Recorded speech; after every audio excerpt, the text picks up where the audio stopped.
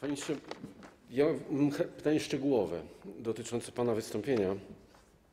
E, Pan użył takiego określenia, e, jak mówiąc o pewnych założeniach e, polityki naszego rządu wobec Unii, jak przymus migracyjny, że Polska kategorycznie sprzeciwia się przymusowi migracyjnemu. Ja mam taką nadzieję, że pewne emocje w Europie już opadły, budzone przez ludzi, dla których los ludzi, którzy walczą e, o życie, na przykład e, w związku z konfliktami zbrojnymi, że te złe emocje już opadły i że możemy spokojnie porozmawiać na przykład o pomocy Syryjczykom e, dla przykładu.